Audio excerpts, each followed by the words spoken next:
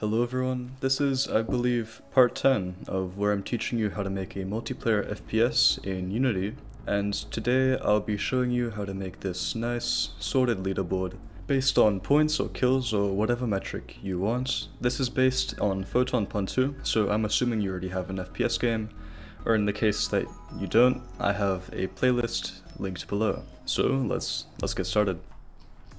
The first thing I'm going to do is I'm going to make the UI for it. So if you already have a UI for it, skip ahead.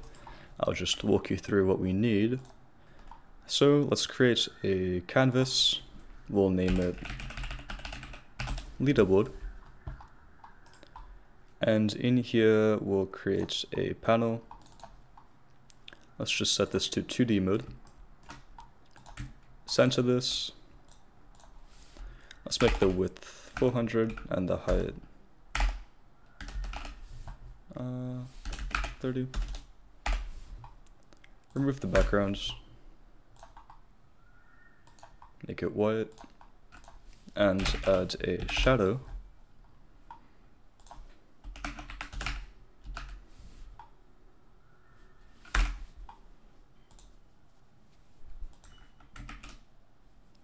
I think this looks quite nice. Let's, in the canvas, change the sort order to about 3.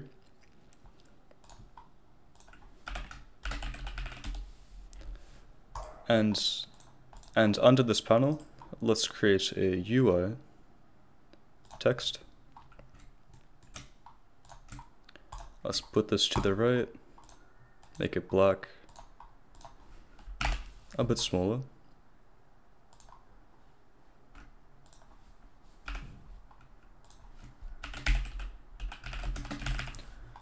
So we'll replace this with the player name eventually. Duplicate this, and let's create another one for our score, which we'll put on the right. And let's just put this at zero by default. And let's move this first player up by, let's do 90 and I'm going to duplicate this a few times.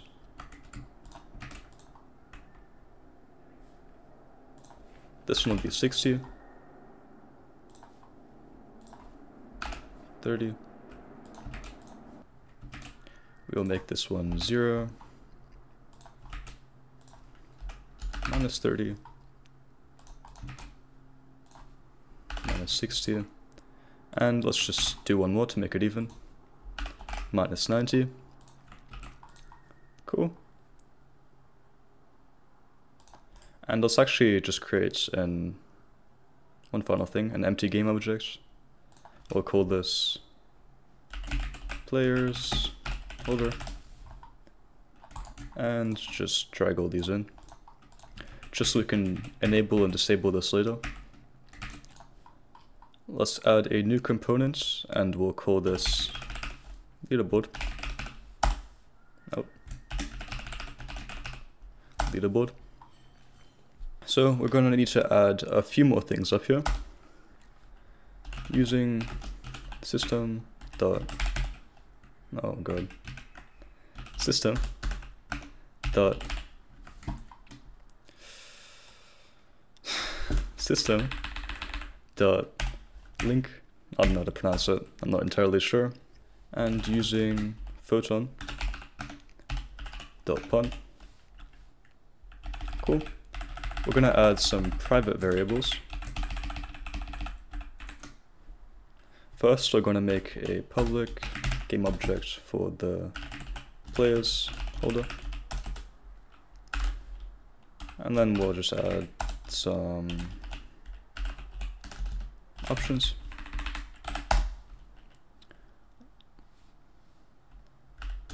Public float for our refresh rate. Let's set that to 1. And let's add some a header for our UI. So we'll add a list of, or an array of game objects called slots.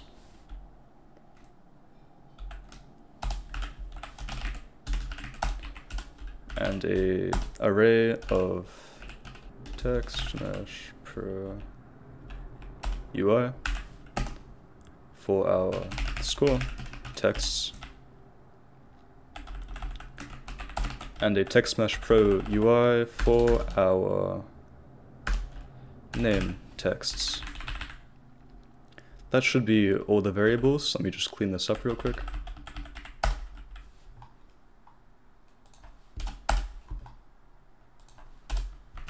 Fantastic. Nice. Um, let's make our start method. So type invoke, oh, invoke repeating, name of, and it wants a function here. So let's create a new public void, refresh, and let's just put this in here without the brackets, type 1, and here we're going to give it our refresh rate. So what this does is every one second, it's going to call this function, which will refresh our leaderboard. Now obviously you can increase this if you want it to update more faster, but of course it'll be slower, and it's probably not necessary. So in our refresh function, we're going to do for each slot in slots. We're going to do slots dot set active false. Okay, awesome. So first we're going to type var sorted player list equals. Uh, let's put brackets from? Player? In photon network. Dot player list. Now this is Photon's list of players in the current room you're playing in. Order by player dot get score. Descending. Select player dot to list Awesome. So this gets the list of players and using LINQ, link, I don't know, um, we're sorting it based on their scores with the highest score at the top and then it descending, obviously. Um, sweet. Okay, we'll do int i equals zero and we're gonna make a for each. So for each variable player in sorted playlist. we're going to get slots of index i to be set active true. So here we've disabled all of them and now we're enabling them one by one for the amount of players that there are. And we're going to check uh, if player nickname is equal to nothing. We're just going to set it to unnamed. Cool. You don't have to do this, by the way. It's just, um, it would look weird if there's just blank spaces in the leaderboard. So we'll just put unnamed there instead, which I think would look nicer. It's what I do in my game, so, you know. Uh, we're gonna do string. Oh no. We're gonna do name texts, i, and we're setting that text equal to player.nickname and we're going to set score texts. I dot text equal to player dot get score dot to string now I'll show you how to add and subtract and reset score later. We'll get to that soon. So let's just keep going.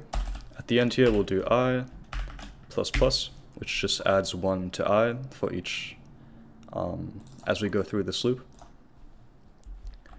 And the last thing we're going to do is we are going to make the leaderboard be able to be toggleable on and on, or only active when you hold tab which just keeps it out of the way. So let's make a private let's just add the update function. And we are going to set players holder, that's set active, input, the get key key code dot tab awesome. This is just some nice shorthand. And this should be it. Let's just reference everything in the inspector. Let's drag in the players holder. The refresh rate is fine. Let's drag in our slots one by one making sure to go from the top to bottom. We could do this automatically every time you run the game, but it's probably more efficient to just do it once. Now let's assign the score text. Now if you do this in the wrong order, then it won't work, so be careful.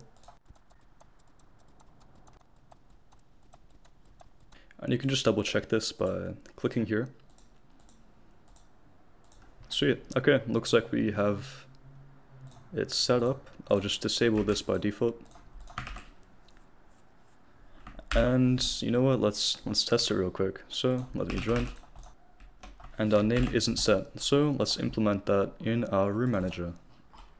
And in our spawn player function, just after we set the nickname for the third person nickname, let's add a new line. We'll do photon network dot local player dot nickname equals our nickname, which we set up here from the text field. And make sure to save that. And there we go, the name is set, which is awesome.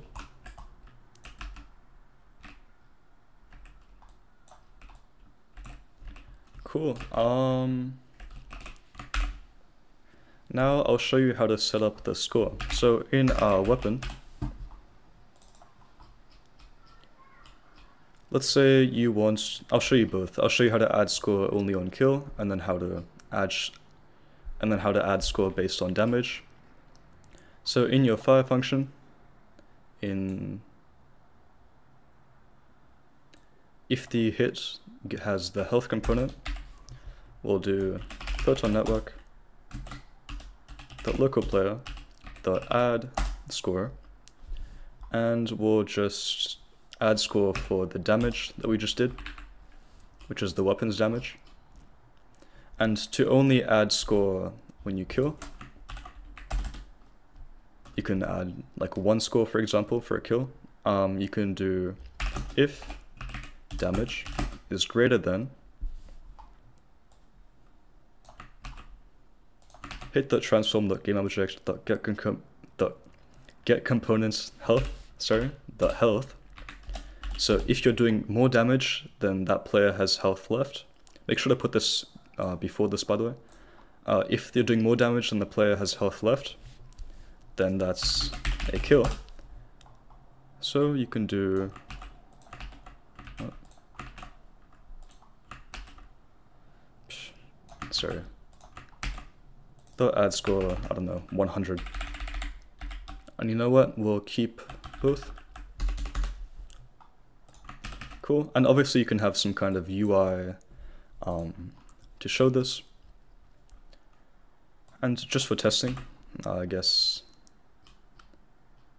um, every time you fire, I'll add one, one point. Cool. So we start off at zero. There you go. It takes a bit to update but we're adding score. So let's, I'll just show you what this looks like with multiple players as well.